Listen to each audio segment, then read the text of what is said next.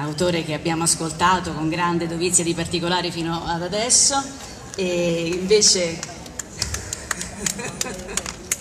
e invece cercheremo di stare nei tempi ma di raccontarvi un'altra storia bellissima, anzi tre storie bellissime. Eh, sarei venuta, sarei andata ai bastioni di Orione, alle porte di Tannhäuser, pur di, se mi avessero chiesto di presentare questo, questo libro, perché è un libro molto bello e, e farlo dal Ghero per me diciamo, è un cuore che si spezza. E perché questo libro si intitola, è un titolo difficile, Amori comunisti di Luciana Castellina cronache nottetempo è decisamente un titolo eh, in, in, senso diciamo in direzione eh, abbastanza contraria, abbastanza ostinata. È mm, molto bello parlare con eh, Castellina perché è una grande donna della Repubblica, perché ogni volta ad ascoltarla ci si incanta, perché scusate c'è un conflitto di interesse, ma è la fondatrice del mio giornale che è il manifesto che peraltro è anche tornato in Sardegna dopo tanti anni e per noi è stato grazie, un miracolo, un miracolo speriamo che riusciamo a tenerlo nelle vostre edicole. E, e, mm, e, poi perché questo libro parla di amori comunisti e solo lei poteva scrivere una, una cosa così complicata, un titolo che è quasi un ossimoro. Sono tre storie d'amore e di passione, di passioni per l'amore e per la politica che si intrecciano, che si intrecciano non si riescono a, a distinguere i, i, i due piani e, e, che si consumano tragicamente a volte, dolorosamente nel fuoco di una battaglia, di una resistenza, di una guerra civile, comunque in situazioni impossibili, disperate. Non poteva che scriverlo lei perché eh, Luciana Castellina che non presento perché è, è, molto conosciuta, però insieme a una giornalista è stata una dirigente politica, quindi un'inviata del Partito Comunista in situazioni un po' speciali e poi è stata deputata, eurodeputata. E, e, e quindi in, ha attraversato spesso queste storie, le storie che racconta, poi lo diremo, troveremo il tempo per dire tutto, sono eh, storie che lei a un certo punto della vita ha incrociato, ha avuto anche un qualche, un qualche parte, eh, perché lei stessa ha una biografia di romanzo. Infatti la prima, parola, la prima, domanda che vorrei farti, Luciana, dandoti il benvenuto qui, il benvenuto qui ad Alghero, e, tu sei testimone in qualche misura di quello che scrivi dentro questa scrittura, aleggia un po' di un po' di Hemingway, un po' di John Reed, questi che raccontano le grandi storie, un po' di Capucinski che ci dice che con Erodoto, insomma, che bisogna essere un po' testimoni per raccontare. Ma quando uno legge un libro, legge un titolo come questo, Amore comunisti, firmato da Luciana Castellina, e, e si chiede, ma allora si racconta di Nil Degliotti, di Teresa Noce, forse stesso degli amori di Luciana, degli amori comunisti di Luciana Castellina, e invece no, non ci sono questi amori qua. Direi che è peggio Peggio nel senso che tutti mi hanno subito chiesto appena hanno visto questo titolo e devo dire che io non mi sono resa conto che questo sarebbe venuto in mente ai lettori. La prima domanda che mi è stata fatta è ma allora ci racconti dei tuoi amori con aria, come dire, un po' complice e voi sapete che il pettegolezzo è la cosa che piace di più e quindi questa era la speranza. Io gli ho detto meravigliata io stessa di questa domanda perché non pensavo che sarebbe venuto in mente, ho detto no, per la verità no. Allora con un ultimo filo di speranza, e ce la sono quelli del PC, sperando in una tresca di Mildeiotti o una qualcosa di questo genere. E io gli ho dovuto dire no, e allora ho visto la disillusione profonda negli occhi dei miei interlocutori e spero che non sia la vostra perché non si tratta né dei miei, come ovvio, ma nemmeno di quelli del PC. Vabbè, al prossimo libro. No, no, no, no. Scusate, io cerco la notizia, faccio un mestiere, per cui... No, eh, sono storie straordinarie, tre storie eh, che si muovono in tre situazioni diverse della storia delle guerre civili, di, di, tre guerre civili diverse. Cominciamo con una prima, facciamo tre piccoli assaggi di queste storie prima di parlare un poco più in generale di quello che è scritto. La prima è la storia di un grande poeta turco, Nazim Hikmet, siamo nel 38, dopo la morte di Ataturk eh, la eh, Turchia cade sempre più verso, diciamo, non ci sarà la guerra, verso, la faccio molto breve, questi sono episodi di storia che, eh, episodi, pezzi di storia importanti che molti conoscono anche meglio di me e, e i comunisti vengono eh, incarcerati, che è uno sport che è successo diciamo, piuttosto spesso in giro per il mondo, tal, talvolta invece i, i, comunisti hanno incarcerato, quando si parla di comunismo noi, noi, abbiamo letto religiosamente il libro nero, quindi non è che non sappiamo, eh, non, non, ne parliamo in maniera eh, idilliaca naturalmente. E insomma Nazim viene incarcerato a più riprese, ma ne parliamo perché dentro questo, nel carcere, in una situazione terribile dove la sua salute viene fortemente toccata, è un carcere in cui resta a fasi alterne comunque quasi 30 anni, eh, si innamora di una giovane che la viene a trovare, che è un Everandak, così si dice? Eh, che sono anche difficili da pronunciare i nomi turchi, e, e, e diventa, diventa, gelosissimo, lei è sposata, lui è sposato, lui sta in carcere, è gelosissimo, vuole assolutamente che lei si liberi per stare con lui, ma lui sta in carcere. E quindi è una storia eh, bella e tremenda, dura molto tempo, alla fine eh, Nazim Hikmet viene liberato, consuma brevemente l'amore con lei per poco non devo spoilerare, hai ragione, hai ragione. Però insomma hai ragione. Una storia bellissima che però non finisce bene perché Nazim Hikmet riesce a andare via dalla Turchia e, eh, e invece la donna che ama resta a lungo, prigion lei prigioniera invece di, questa, eh, di, questo fatto perché la polizia turca gli stava addosso e, e, e se lei se ne fosse andata si sarebbe attirata tutta la polizia eh, turca. Che, mh, mm, una storia che tu hai conosciuto, poi tu ti sei anche arrabbiata con eh, Nazim Hikmet. Sì, perché una storia, mm, le storie umane sono molto complicate, quando uno è stato 17 anni in galera eh, si può capire anche che eh, il fatto stesso che lui si possa ancora innamorare io lo trovo straordinario perché 17 anni di prigione possono ammazzare tutti i sentimenti. E invece lui alla fine della sua vita dice io sono stato sempre innamorato. E l'ho trovato una frase bellissima perché, perché vuol dire che un uomo che ha vissuto ed è stato capace di non farsi ammazzare da una cosa così terribile come la prigione. Ma io ho raccontato queste storie perché perché ho incontrato le persone, eh, non le avrei potute raccontare se le avessi sentito dire. Mi è capitato per coincidenze fortuite di incontrare i tre protagonisti di queste storie e, e queste storie mi hanno sempre molto, non me le sono più dimenticate, le ho continuate a covare dentro di me finché ho... E questa prima di Nazim Hikmet in realtà la devo avere incocciato intrecciato, incontrato questa storia a una persona cara a questa isola, perché era Joyce Lusso, la moglie di Emilio Lusso, la quale anche lei aveva incrociato questa storia e quando io partì per la Turchia per un servizio giornalistico e per fare anche una ricerca, eh, io ho fatto molte volte una cosa che eh, in, in, tante situazioni complicate si potrebbe dire che sono andata a fare l'agente segreto perché ogni tanto il Partito Comunista mi diceva vai in quel paese e allora per favore raccogli le notizie su quelli che sono clandestini, in prigione, in condizioni così. Infatti non a caso queste storie sono la Turchia, la Grecia, paesi che come sapete hanno avuto dei rapporti con la democrazia molto scabrosi e molto Alcuni difficili. ce li hanno ancora, la Turchia ce l'ha ancora. La Turchia ce le ha ancora peggio di prima. E, ehm, e quindi in Turchia ero andata a ricercare il partito comunista turco che in dieci anni di dittatura si era perduto.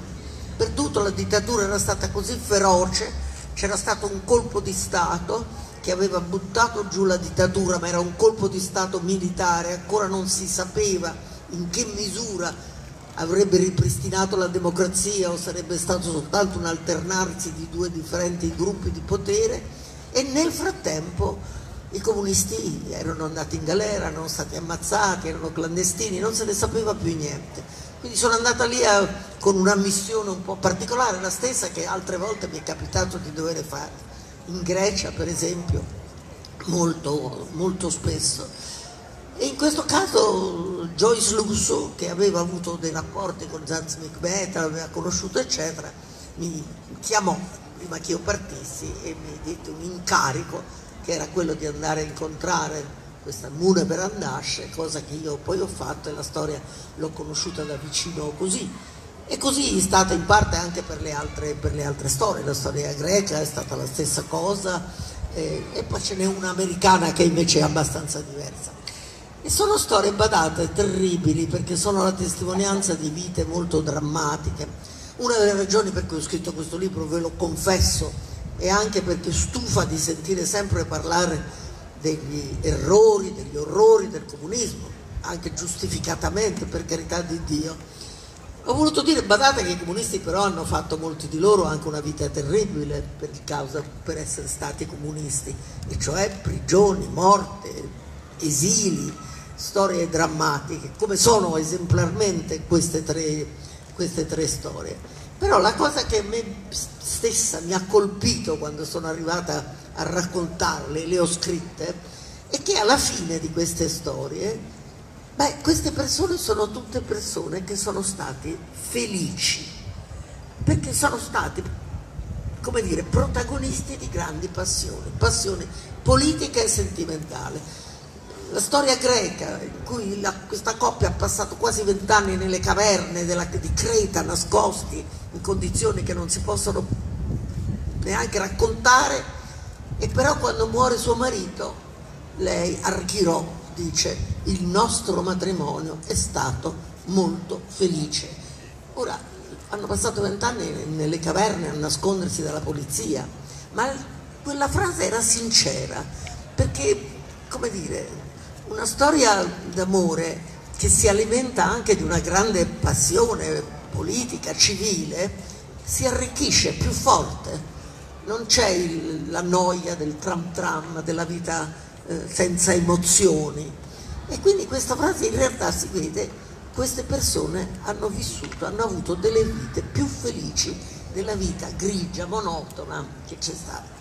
Mi è capitata una cosa curiosa, ve la racconto, eh, di essere stata ampiamente citata da un giornale come Il Foglio in occasione della rottura del fidanzamento di Luigi Di Maio con una fidanzata che aveva in Sicilia, perché la fidanzata ha detto ah, il nostro fidanzamento si è rotto perché ci ha diviso la politica. Lui si occupava di politica e quindi il nostro rapporto non poteva funzionare bene. Ora, è vero il contrario, se la politica è una cosa seria, che se la politica è una grande passione, beh, alimenta anche i sentimenti, il rapporto, questa cosa si vive con passione insieme. Certo, se la politica è fare un governino, eh, capisco che la cosa non sia entusiasmante e non alimenti l'amore, ma insomma, però mi ha molto colpito che si sia fatto un lungo articolo per fare paragone fra gli amori comunisti e la rottura del fidanzamento di Di. Ma eh, perché?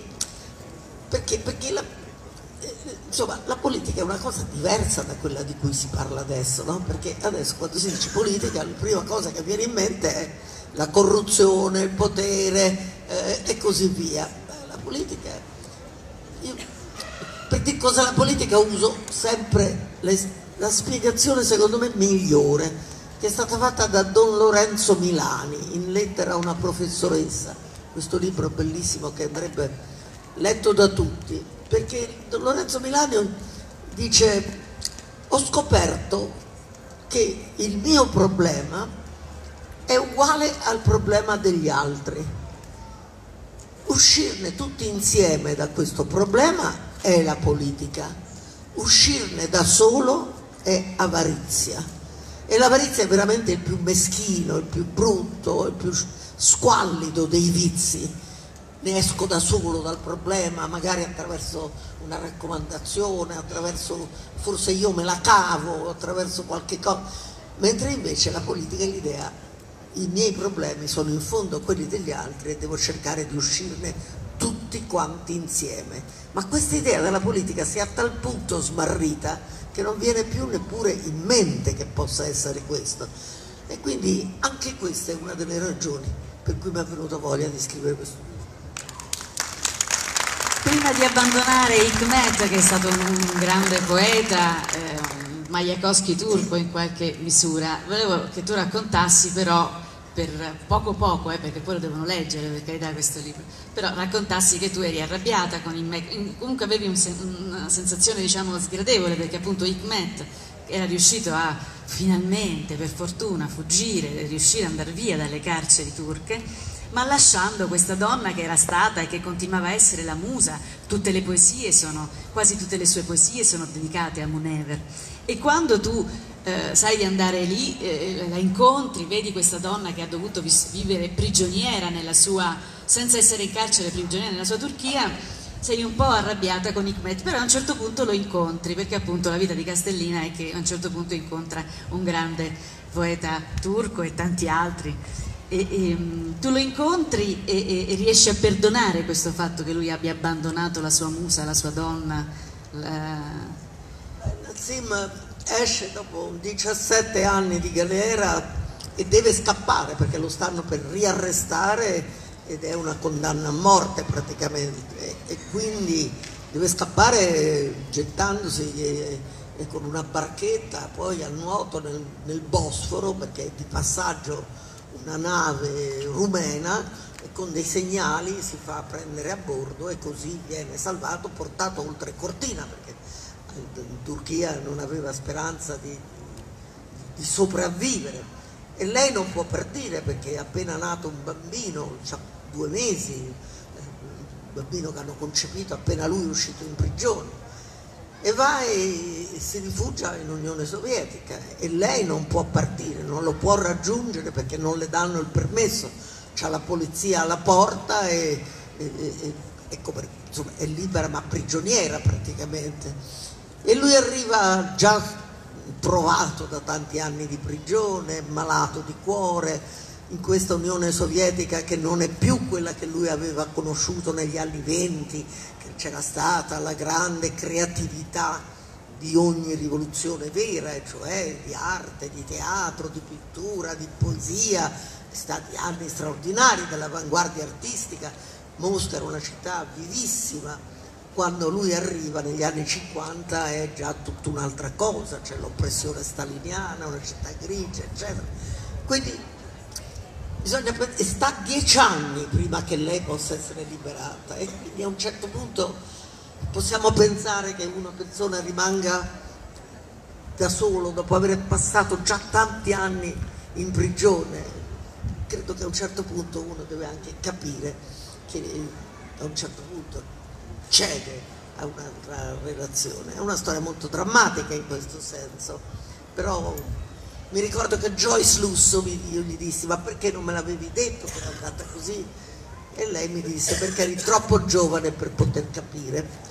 E credo che fosse una frase giusta perché poi con gli anni si, si capisce di più anche le debolezze umane. Senti, ehm, hai accennato a un tema che di cui tu diciamo, non, non, metti proprio in primo piano in queste tre storie. Sono tre storie d'amore, tre storie di comunisti che fanno delle guerre disperate, quella, la, la, resistenza cretese è disperata, appunto si arra, alla fine finirà per anni arrampicati, chiusi dentro le, le caverne, le, le, come capre, riescono... Sono storie di, di persone che hanno creduto fortemente nell'Unione Sovietica, sono tre storie che finiscono nel dissenso in qualche misura. Eh, è una storia un pochino che assomiglia anche alla tua e a quella dei compagni del manifesto, che a un certo punto lasciavano il PC, naturalmente eh, facendo le, le differenze, eh, in dissenso diciamo, linee, dalla, dalla linea sovietica, in particolare sui carri armati a Praga. Allora, eh, in qualche misura ti, hanno, ti, suonavano anche per questo, perché sia eh, la coppia eh, che si ama e, e, durante il maccartismo e che è fortemente filosovietica in quel momento, ma poi perde questa, questa fede, sia i cretesi e, e anche i Khmet, a un certo punto eh, si rendono conto che, eh, che a Mosca c'era un'altra cosa rispetto a quello che loro avevano creduto. Ci sei un po' rivista anche sì, su anche questo? Se, però diciamo la verità, non sono nessuna delle storie che sono partite dall'amore per l'Unione Sovietica, sono storie di persone che hanno, sono partite dall'amore per il loro paese, voglio dire, la storia di Creta è la storia della guerra civile eh, a Creta che segue subito dopo la guerra perché sapete cosa succede in Grecia? In Grecia succede che i greci si sono liberati da soli dall'occupazione nazista, cioè la Grecia l'hanno liberata alla resistenza prima ancora che arrivassero le truppe alleate e quando arrivano le truppe eh, eh, alleate, il primo contingente è la flotta britannica dell'ammiraglio Scopi, dice arrivano e gli dice deponete le armi e giustamente la resistenza dice deporre le armi. Beh, deporremo le armi quando le avete fatte deporre a tutte le bande fasciste che ci sono nel nostro paese, perché poi vi sapete che la Grecia si è trovata dalla parte diciamo, delle, del fronte antifascista ma in Grecia c'era un dittatore fascista quando l'Italia fascista ha attaccato la Grecia. Una situazione paradossale, ma questa era la, la, la cosa. Quindi il paese era ancora pieno di bande fasciste e quindi si rifiutano di deporre le armi e l'ammiraglio Scopi bombarda Atene. Non è che fa una cosa di meno, bombarda Atene, ci sono decine di morti e lì incomincia un braccio di ferro molto complicato perché come dire, da una parte è ancora la guerra, siamo nel, nel, nel 44, c'è ancora un anno e più di guerra e non c'è ancora stato aperto il secondo fronte in Francia, eh, la situazione è ancora molto pericolosa, quindi non bisogna rompere il fronte antifascista e al tempo stesso questi non possono accettare eh, di cedere le armi in una situazione in cui vengono ammazzati dalle bande fasciste che ci sono in Grecia e quindi come dire lì c'è una battaglia che è una battaglia innanzitutto per un sacrosanto diritto di riprendere possesso e controllo del proprio territorio. E finiscono a fare la guerra civile eh, come dire ci vengono portati per i capelli ma alla fine questo quasi come autodifesa. E naturalmente è una guerra civile che perdono perché eh, sono bande isolate, lo stesso fronte antifascista, l'Unione Sovietica stessa non ha nessuna voglia che ci sia questa guerra civile perché ha paura che si incrini la solidarietà del, del fronte antifascista mentre c'è ancora la guerra, aprire un, un, una frattura era, era, fatale. E quindi, come dire, quello è chiarissimo che la, è l'elemento patriottico che è quello che... Infatti nel libro che loro scrivono di questa coppia greca, eh, si intitola Non avevamo un'altra alternativa, non potevamo fare diversamente. Loro avrebbero potuto in tutti gli anni di clandestinità nelle montagne greche firmare una lettera per la quale avrebbero avuto l'amnistia, ma in quella lettera avrebbero dovuto giurare fedeltà al re fascista e loro questo non l'avrebbero mai fatto e non l'hanno fatto ma poi diventano appunto dissidenti l'Unione Sovietica, quindi come dire è proprio una cosa patriottica, così come lo è, eh, come lo è stata la, la, battaglia di Nazim Hikmet, eh, che è, è, tutta impregnata della sua Turchia, della, della liberare l'Anatolia, i contadini turchi, della, tutte le sue poesie del resto sono ispirate a questo amore per il suo popolo eh, quindi l'Unione Sovietica c'entra e non c'entra, diciamo, insomma, in questa, eh, in questa vicenda. Eh, ecco, Nazim Hikmet ha un grande pregio nelle sue poesie, ed, cioè sono poesie che dicono sempre la verità dei suoi sentimenti e lui continua a un certo punto, certo, eh, l'Unione Sovietica dopo anni e anni che sta solo, malato, sta per morire, infatti poi muore eccetera, c'ha un rapporto con una giovane eh, russa e, e lui dice in una sua poesia non si possono amare due donne contemporaneamente? Che bugia, non è vero, si possono amare due donne contemporaneamente e si capisce, lui certo che ama ancora la donna che ha lasciato in Turchia e però poi ha questa perde la testa a un certo punto per questa ragione. Vabbè, si capisce solo per i poeti naturalmente, eh, non è che si capisce solo per i poeti, voglio dire sì, per i grandi poeti per i maglia Dici che solo per loro, ma tu dici che per le persone non poete non no, è adesso così? il mio, il mio, la mia opinione di umile cronista non è interessante, forse la tua è più interessante. Si possono amare due donne con Facciamo un interrogatorio con tu, va bene? E vediamo no, quali sono le risposte. Non è la posta del cuore, per carità.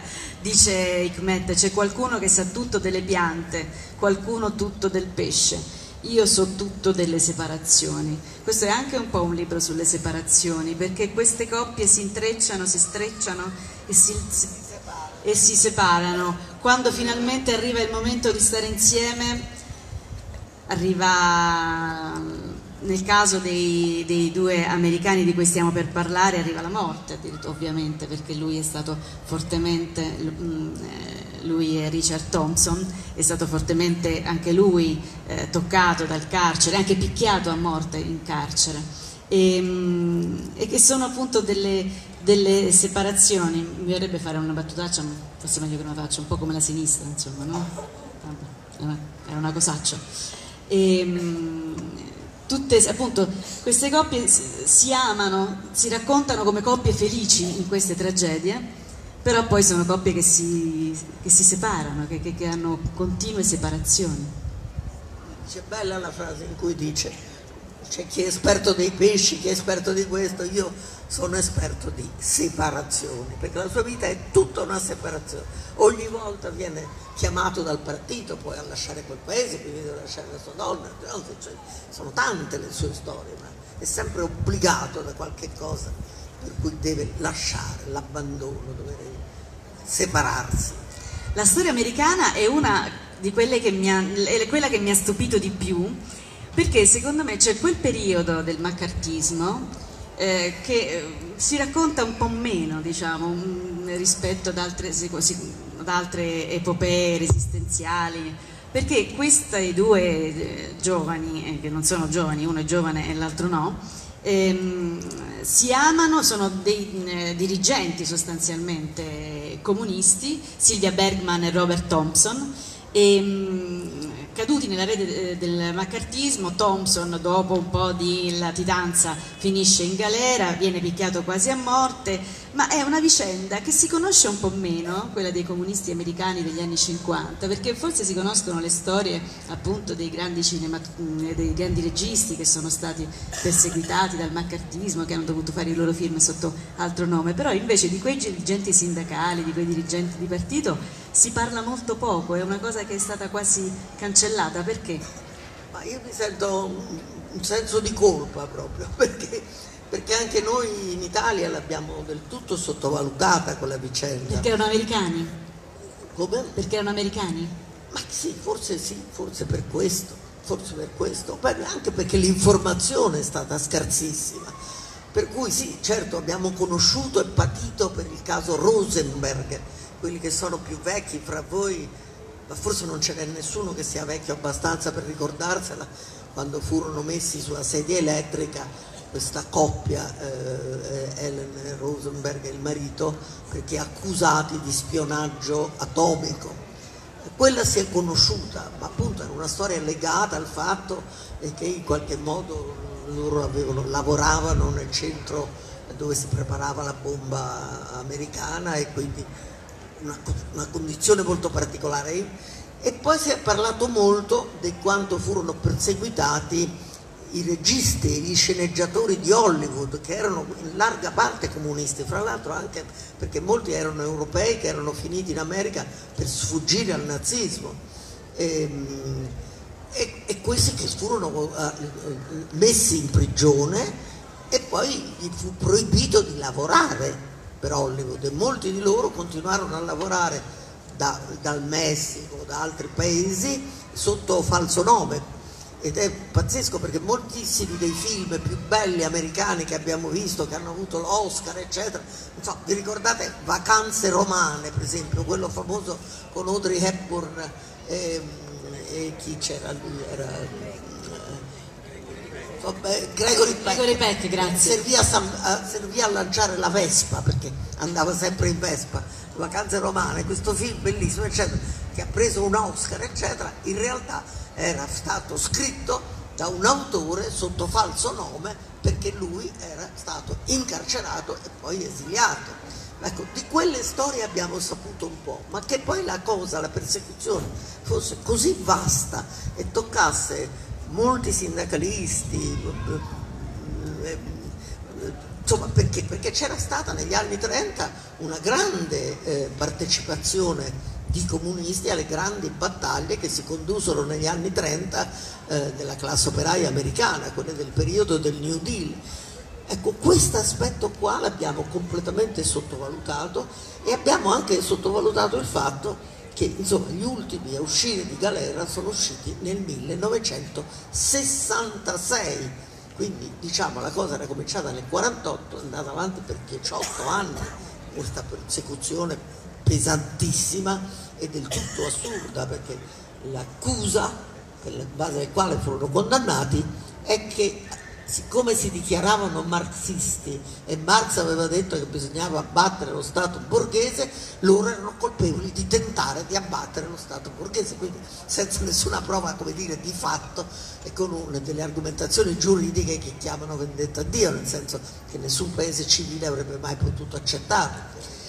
Quindi sono storie, sì, di, di pezzi di storia che dovremmo conoscere, ma che in realtà sono poco conosciute, in effetti bisogna dire la verità, anche la storia di Creta è pochissimo conosciuta, perché? Perché la guerra civile in Grecia sul territorio eh, dire, continentale è abbastanza conosciuta, ma quando fu sconfitta eh, l'esercito che si, si, batteva, eh, si batteva poterono passare il confine e si salvarono, mentre Creta era un'isola e non potevano andare da nessuna parte e quindi fu un'epopea terribile perché non potevano scappare se non appunto piegandosi alla vergogna di firmare fiducia al re, cosa che non avrebbero mai fatto, infatti non hanno mai fatto.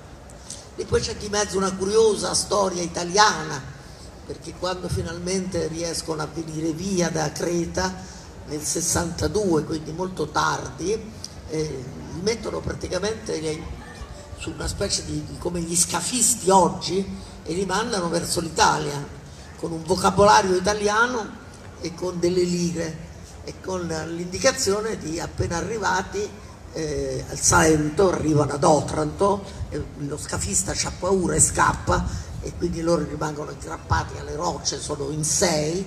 Eh, sono sei che sono vissuti sempre nella totale clandestinità, quindi anche non sanno neanche più come è fatto il mondo, eccetera, gli dicono di di andare alla sezione del Partito Comunista Italiano e di lì di dire chi sono e che li avrebbero aiutati. E loro vanno e invece si sono scordati di dire qualsiasi cosa, per cui hanno delle peripezie incredibili, poi invece vengono riconosciuti e c'è una straordinaria solidarietà pugliese.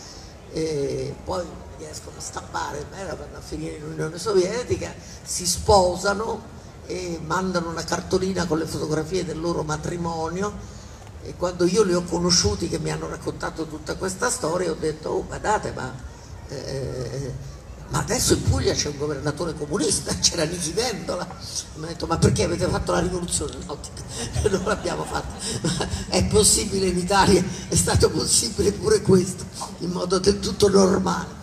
E allora sono tornata, sono andata da Niki e ho detto Niki bisogna assolutamente che li facciamo rivenire, ma non era facile trovare quelli che li avevano aiutati perché erano passati tantissimi anni oramai, erano morti, non si trovavano più, abbiamo dovuto fare una ricerca, finalmente l'abbiamo trovata.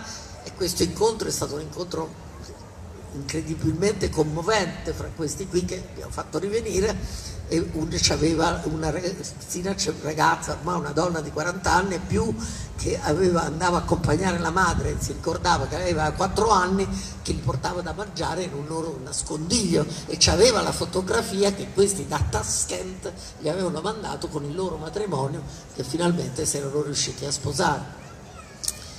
E quindi insomma sono storie che, che, tu hai incrociato, dici anche mh, brevemente se vuoi come hai incrociato invece eh, Silvia Bergman, che è un'altra donna che tu hai incontrato. La, la, questione è che lei racconta storie d'amore perché ha vissuto non solo storie d'amore, ma ha vissuto intorno a tutte queste vicende eh, storie per cui doveva incontrare eh, queste persone perché doveva fare delle missioni impossibili a nome del PC o a nome di Paese Sera di cui eri a volte inviata e quindi hai, incrociavi queste persone nel tuo fare politica, nel fuoco anche della tua battaglia. Sì, lì nel, Io ne so tante altre, ne so tante altre. Banale perché... Io ne so tante altre, sai, eh, dico una cosa piccolissima che non ti ho detto neanche questa mattina. Io ho iniziato a lavorare con una lettera di Fidel Castro attaccata dietro la porta, scusate, sono nomi quasi impronunciabili adesso, che diceva estimata compagniera Castellina e che ti, e che ti raccontava, non te l'ho detto. Questa non ve la racconto perché non questa l'ho raccontata perché me ne vergognavo di dirlo, ho avuto il coraggio di dirla solo adesso. Perché io ho fatto parte del, per parecchio tempo quando ero al Parlamento europeo, ero vicepresidente della delegazione permanente del Parlamento Ed europeo. era come oggi piuttosto bella, bella, e non solo per questo, ma anche per le sue naturalmente doti politiche, Fidel Castro, insomma. No, insomma, in questa mia funzione andavamo eh, eh, per l'America centrale eh, ed era l'epoca di tutte le guerriglie, Nicaragua, eccetera, Cuba, eccetera. E fra le cose che noi dovevamo fare, una volta all'anno ci dovevamo incontrare con il, il, Dipartimento di Stato per confrontare la politica americana e la politica europea nei confronti dell'America centrale e dell'America latina.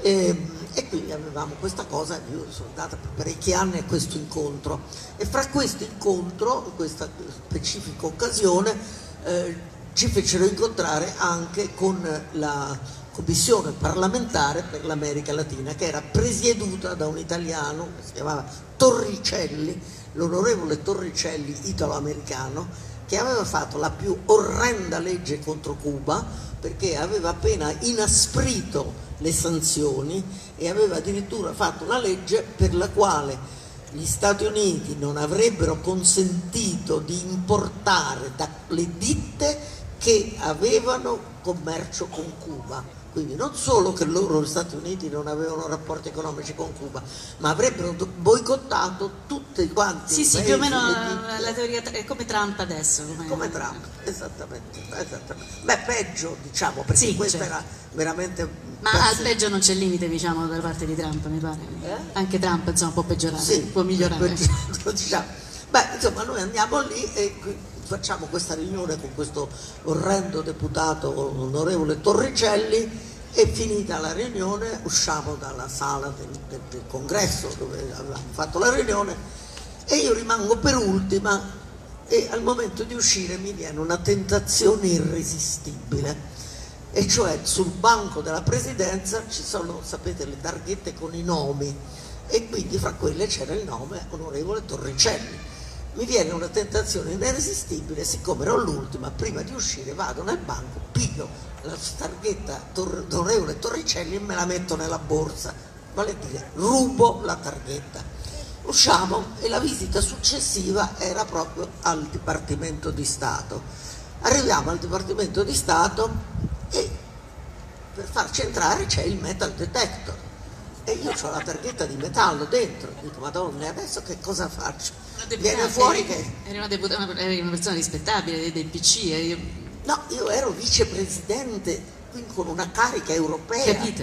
importante. E la targhetta dentro e la, la targhetta che avevo rubato, figurati poi gli Stati Uniti, fu, eh, accusata di furto per avere rubato eh, un oltraggio al congresso americano, alla Costituzione americana, un casino, un incidente diplomatico terribile, quindi non sapevo che cosa. Allora, mi arretro per dire vado fuori a buttarla, se non che c'era in quel stesso giorno l'incontro fra la delegazione palestinese e israeliana patrocinata dagli americani, per cui c'era la, la, la polizia con il fucile spianato in tutti quanti gli angoli. Sono uscita, ho capito che se buttavo una cosa di metallo mi avrebbero sparato sicuramente pensando fosse quella che butto quindi torno indietro, cioè, niente da fare. E alla fine niente, sono passato. Per fortuna il metallo era un metallo di alluminio leggero e il metal detector non l'ha registrato. Quindi con un sospiro di sollievo sono passata in verde. Dopo un mese mi è capitato che dovevo andare a, a, sempre con una delegazione parlamentare a Cuba e allora ho portato a Fidel Castro il regalo la targhetta con sopra scritto onorevole Torricelli e mi ricordo che Fidel Castro faceva una grande risata e gli sono ricevuto molti regali ma uno così ancora non l'avevo ricevuto mai e se l'è attaccata dietro la scrivania. Giocherelloni questi, questi comunisti. Dobbiamo riabilitare Saverio, qui c'è stato in questa bellissima eh, rassegna, c'è stato anche se siamo nei tempi, siamo nei tempi con una, una, bella lezione di Paolo Mieli che ha detto tutte le cose più terribili del comunismo, quindi noi dobbiamo recuperare un po' di rispettabilità eh, a, a questa parte. Ma prima di parlare di questo ti chiedo eh, il titolo del tuo libro è un po' un ossimoro, Amori comunisti, perché non lo so, sarà che io sono di una generazione leggermente successiva, poco poco in realtà, poco poco, però mi sembra che le, le organizzazioni comuniste in giro per il mondo non siano mai state tanto favorevoli all'amore in qualche misura, ma anche al linguaggio. Tu fai un'innovazione in qualche, in qualche, misura perché sei una dirigente comunista che non deve dimostrare niente a nessuno rispetto a quello che ha fatto nella vita e a quanti diciamo, missioni ha portato eh, a termine, che si mette a parlare d'amore. Per il PC italiano la parola amore era un po' se penso appunto alla vicenda di Nilde Iotti, alla tragica, terribile vicenda di Teresa Noce, l'amore era un po' non era insomma una, una parola che stava nel lessico ufficiale, nel lessico... Eh... Ma sai, questa, questo diciamo che è stato una... C'è stato un periodo del comunismo con cui il comunismo è stato assolutamente invece molto eh, scapigliato, bohème, pensa soltanto il gruppo bolscevico, eh, esuli, eccetera, c'era una libertà di costumi molto molto grande. E Parli però, proprio di quei primi anni parlo di prima della rivoluzione e anche subito dopo la rivoluzione il codice della famiglia eh, emanato nell'Unione Sovietica è un codice assolutamente non, eh, non clericale, non codino, non conservatore per niente. Che succede? Che è vero c'è una cosa bellissima che è quella che è all'origine della, della famosa cosa i, i comunisti eh, eh, rubano i bambini. Io ho fatto una campagna elettorale ancora Anche con i manifesti rubano. sopra scritto rubano, portano, ma mangiano, mangiano. O, o, rubano. Più, più ecco, spesso li mangiano. Quelli della, della, manifesti della DC nella campagna elettorale 48 dicevano portano via i bambini, lo, lo Stato porta via i bambini. Ehm, in realtà il codice diceva una cosa molto bella e diceva per ogni bambino che nasce lo Stato deve farsene carico, per dire non deve dipendere dalla famiglia, se la famiglia non lo fa è compito dello Stato di farlo. Questa cosa fu stravolta nel senso che lo Stato si pigliava i bambini e quindi poi c'era una, una, cosa, un bellissimo codice eh, familiare. A un certo punto si rendono conto che nello sforzo terribile di ricostruzione dopo tutte le distruzioni della guerra civile nell'Unione Sovietica hanno bisogno del lavoro delle donne. E per avere il lavoro delle donne hanno bisogno delle nonne, delle babushke.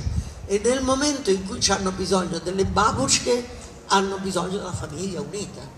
E quindi c'è una svolta codina diciamo che avviene proprio negli anni 30 in cui tutto è fatto per mantenere assolutamente stabile il nucleo familiare e quindi comincia questo puritanesimo così, perché, eh, perché c'è bisogno che le babushke, le nonne stiano là a guardare i bambini perché le madri devono andare in fabbrica a, a lavorare.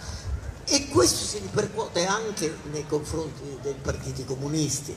Io quando sono entrato nel Partito Comunista era già così, anzi devo dire che sono il mio primo racconto anche questa e poi e dai, chiudiamo, racconto anche questa, ma io mi trovai, io, io, sono diventata comunista, il mio primo rapporto con il Partito Comunista è stato piuttosto anomalo, diciamo, perché io avevo mio nonno era triestino, era grande amico di Guglielmo Oberdan e con il quale è scappato insieme da Trieste per non fare il servizio militare sotto l'imperatore Francesco Giuseppe. Insomma, ve la faccio lunga. Insomma, il mito di Trieste italiana e di Oberda me l'hanno mm, fatto bere come il latte materno da quando sono nata.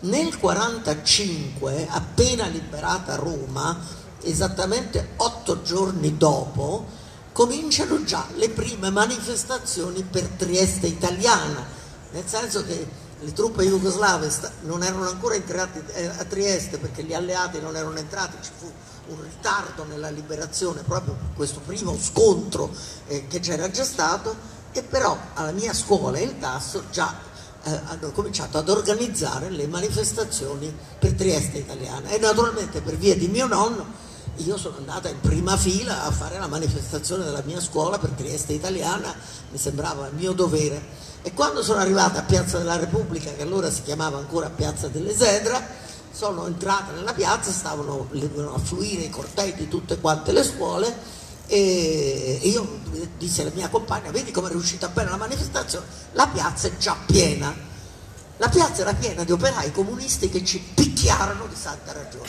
Questo è stato il mio primo rapporto col Partito Comunista. Perché ci avevano ragione loro, intendiamoci bene, ci avevano ragione per una, perché?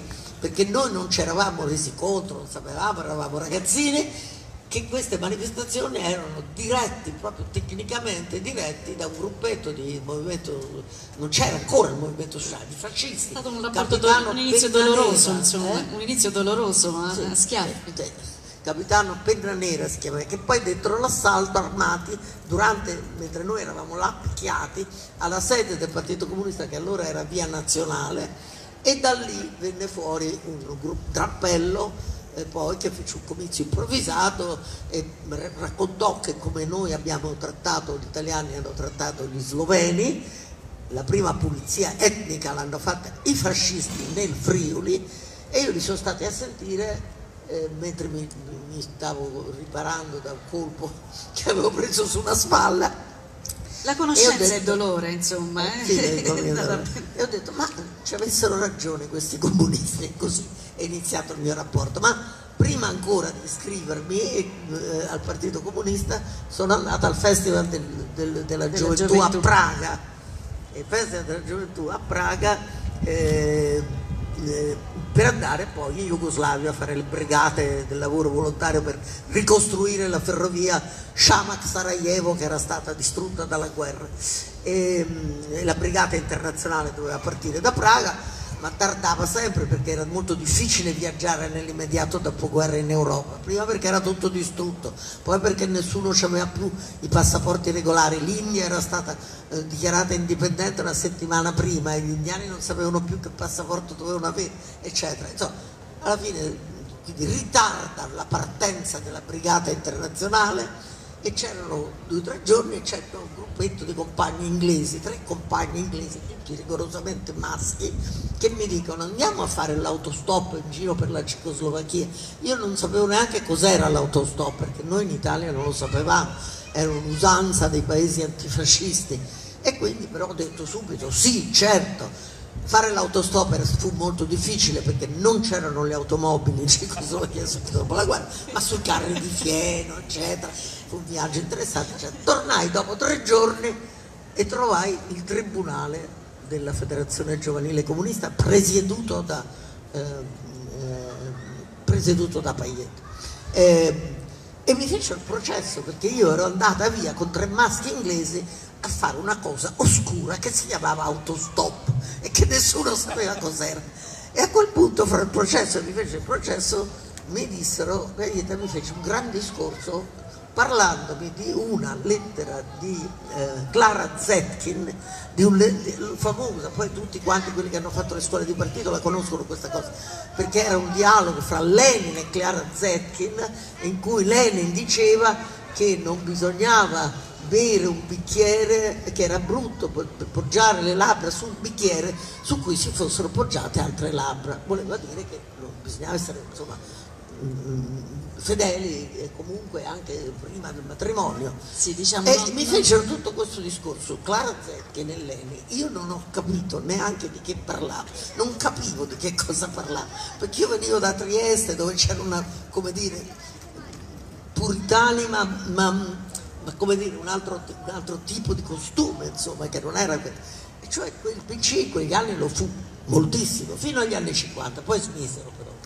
Di essere sì quella non, era, cioè, non è la, tra le cose migliori il carteggio con Clara Zetkin eh, che ha fatto lei non è tra le cose migliori certamente. Anche altre non sono belle eh, per carità alcune invece no. Invece abbiamo questa meravigliosa luna piena dobbiamo concludere faccio le ultime due rapidissime domande due piroppi piccole perché sappiamo che siamo nei tempi abbiamo ancora un altro appuntamento qui nel festival.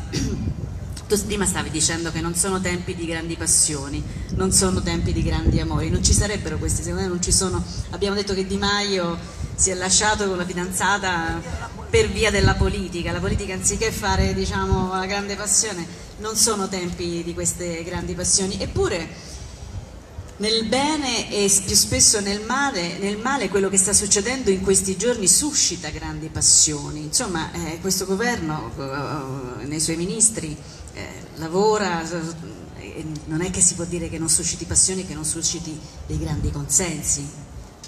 Eh, Salvini più apre bocca, più dice delle cose, adesso poi, poi mettete l'aggettivo giusto ciascuno per il suo, e, e più prende consensi. Il microfono ci vuole. Consenso non è passione però, consenso è anche il rifiuto di prendersi delle responsabilità, il rifiuto di avere un'idea del mondo, vuol dire accetto, accetto così così. E poi fra passioni, rabbia e furori eh, c'è una bella differenza, no? Quindi no, non gli riconosco il diritto di essere chiamati eh, passionali passionaria, assolutamente no. Era Dolores di Barruri la passionaria, no? Roba... Dolores di Barruri e Salvini, no? Sì. No, non va bene. Allora, una domanda che devo farti per forza è il finale, appunto sotto la luna piena qui del Ghiero. Ehm, Amori comunisti è un tributo tuo, un amore grande alla, alla tua storia, alla tua alla tua, alla tua, storia che ci ha raccontato per pezzi, avete sentito le cose che, che ha vissuto, che, che, confesso che ho vissuto, diceva il poeta, ha vissuto molto. E, um, un, un, tributo, un, un, amore alla tua scelta di campo, che è una scelta quasi impronunciabile, oggi la parola comunista è quasi impronunciabile, dico, se, se, potrei recitare le lettere che noi, le mail che noi riceviamo al manifesto tutti i giorni di gente che ci insulta e che ci dice come caspita fate voi ancora a, chiamare, a chiamarvi così e siccome tu sei una fondatrice, sei la più autorevole nel campo, ce lo dici tu perché ti ostini a chiamarti comunista, perché questo amore comunista? Perché mh, mm, io sono meno pessimista di te, perché c'è uh, in realtà sta venendo fuori una generazione giovanissima ancora un, un pezzo minoritario, però un pezzo importante che lo sta riscoprendo la storia e sta riscoprendo la storia anche al di là di tutti gli stravolgimenti che sono stati fatti e quindi io sono, mi ci trovo bene, la parola comunista gli piace e, e quindi sono più fiduciosa. Certo, minoranze, eh, ma questo si comincia sempre con una minoranza e poi si va avanti. Allora, Luciana Castellina, eh, Amori Comunisti, eh, edizioni Cronache Notte Tempo, la voglio dire, la voglio salutare come lo saluterebbero molti qua. Cara Luciana, Amusvera, grazie. Grazie a tutti e a tutte.